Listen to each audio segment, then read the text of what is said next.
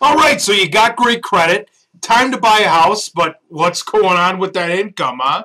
Maybe it's weak at best because you just recently got a commission job or you're self-employed. You're playing games with Uncle Sam. Or maybe you're through a temp agency.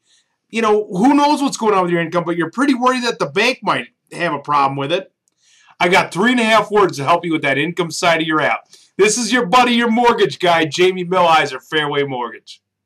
My team and I deal with this kind of stuff all the time. It just so happens you're in this phase of your life where you have an income that isn't exactly Main Street. Whether most of your income comes from cash, or if it's a brand new commission job where they pay a, like for example, a truck driver by the mile, or, you know, it's a brand new commission job. I mean, these things kind of things happen all the time. But you know that you make enough money to pay for that house. But how do you corroborate it on paper? How do you qualify for a mortgage? Here come those three and a half words.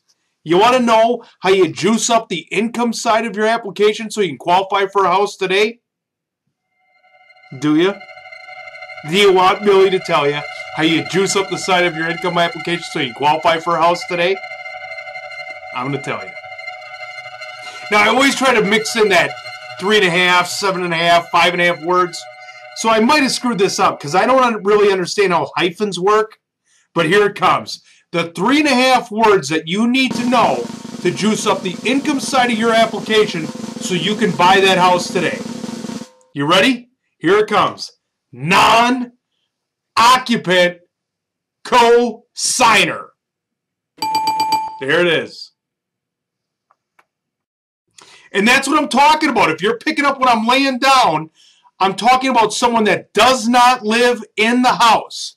They never intend to live there, but they will vouch for you and put their income on the loan application to juice up the income side of your loan application so you can buy your home. This is a readily available feature to two major mainstream loans in America today. And if you're worried about buying a home because of your income situation, or even if you're worried about refinancing because of your new income situation, give me a call anytime. There's the name, phone number, email address. Be more than happy to give you a no obligation free consultation to figure out if a non occupant co-signer is the play for you. This is your mortgage guy, Jamey Milheiser, saving you jack on your shack. Thanks for watching the video. Milly's my friend. Him on Twitter.